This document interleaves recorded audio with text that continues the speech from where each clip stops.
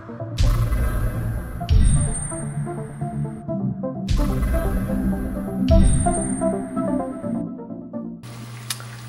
what's up, guys? This is Joey Young. Today we are going to be talking about the Nano Reef tank, and I'm going to be sharing my thoughts and experiences in keeping a Nano and what you guys can expect when you guys are looking into keeping a reef. The very first thing that you'll notice in terms of differences between a planted tank or a freshwater tank is the cost. Now, I know that a lot of people have debated about this, and I'm going to be really brutally honest in terms of the cost of keeping a reef tank is tremendously expensive. Um, and I'm not, you know, saying that you can't do it under a budget or it can't be done cheaply. All that is very true. You can definitely set up a, you know, a reef tank, a small reef tank, whatever fairly ex- inexpensive, but at what cost? And what I mean by that is you're kind of going the cheapo route, I guess, and you're getting limited corals that normally I would say is not the things that you would want. Um, you know, in some cases, there are corals that are very pretty, very gorgeous, and they're really inexpensive. But when you kind of want to get certain things like you know nice clownfish and not you know your basic ones they get expensive you know nice corals that you know are exotic more colors you know things like that it is very expensive i would say a majority of the costs other than the livestock portion of it is going to come in your equipment all right so i have a quick breakdown of the equipment um, in terms of costs when you're looking to get a reef. I'm not trying to deter anyone from getting a reef, but I kind of want to show you guys what it really costs to make a really good reef tank. And I'm talking about, you know, not the top end stuff, but also not the low end tier stuff. So this is kind of in the middle, and this is to really benefit your tank and your livestock for the long run.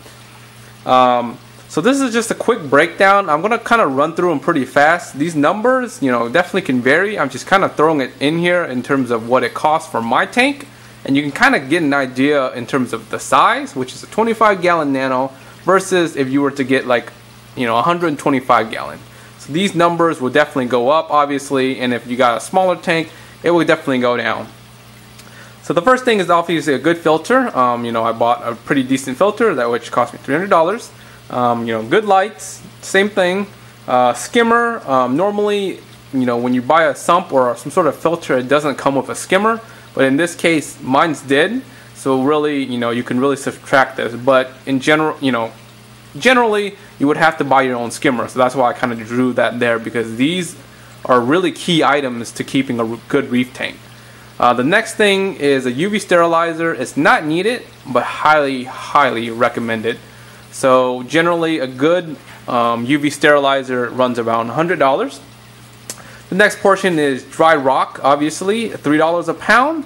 Um, when if you decide to get live rock, you know there's pros and cons on both sides. But if you do get live rock, this number will basically double or sometimes even triple. Um, rule of thumb is about a pound a gallon um, in terms of your tank size and your rock. Uh, another really good investment is an RODI water um, unit, basically, to make your own water at home. Now, it's very convenient because you don't have to run to the pet store. Um, and if you need water on weird hours or at midnight or whatever, you don't have to wait until the next morning to run to your pet store. You can just make it on the fly. So, definitely, that I would say is a must. A good wave maker pump, um, this is really key as well. Um, these numbers, obviously you can get a cheaper one, which is cheaper, but to get something decent, you're looking to spend at least a minimum of 120 bucks. And the better ones would be the $300 ones, which is what I have. Um, obviously, salt. Um, you know, to mix obviously, you know, your salt with your water. Um, generally, you buy them in bulk, and they run around 40 to 50 dollars, um, and it will last you basically forever unless you have a pretty big size tank. Uh, some sort of salinity reading device. Um, generally, you know, a refractometer runs around fifty dollars. Um, the hundred dollar portion would be basically something automated or automatic, where you literally put two drops of water in it, you press a button, and it reads the number for you. And that's what I have. Um, so much easier than looking through like a little scope and like you know focusing on it and guessing numbers. Way easier. Literally, you press a button. You you you press a button, and it throws numbers back at you. Like it can't get any easier than that. Um, so definitely highly recommend getting that um, versus anything else if you decide to keep, you know, your reef tank, you know, for long term because you you know every water change you're going to end up having to read it, you know, measure it, and you know your etc. etc. You get the point. Highly recommend investing in that. Live sand usually it runs about thirty dollars a bag. You know, maybe two bags is what you know I put in here, um, depending on how deep uh, of a sand bed you want. Or no sand, it'll save you thirty bucks. Totally up to you. And the last thing is a parameter kit. By that I mean you know measuring your nitrites, nitrates, ammonias, um, your calcium, etc., etc., etc.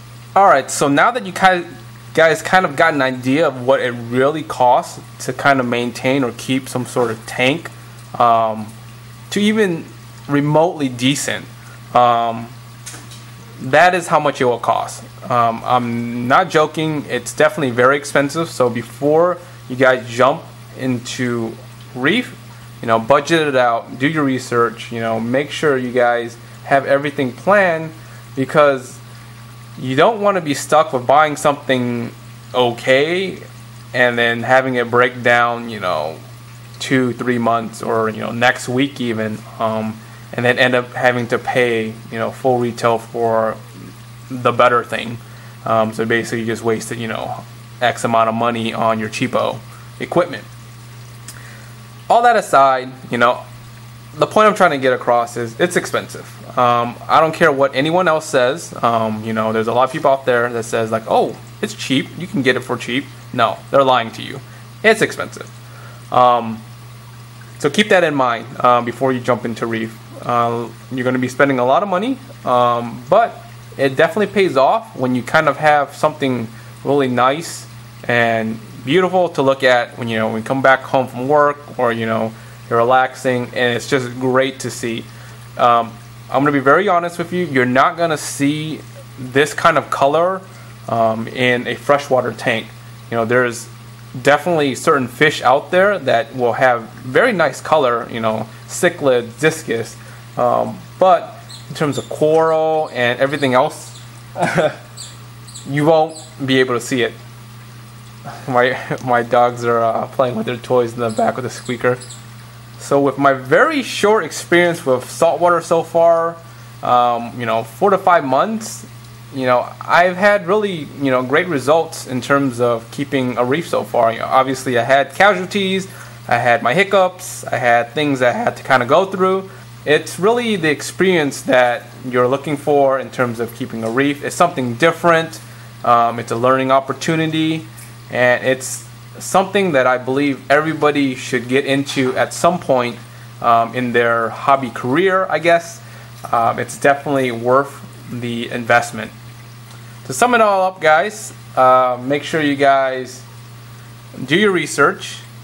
Um, look to be spending a lot of money in terms of equipment, livestock, and be patient um, I haven't really mentioned it in this uh, video as much, but patient is definitely key in keeping reef, whether it's you know introducing new things, um, cycling, etc.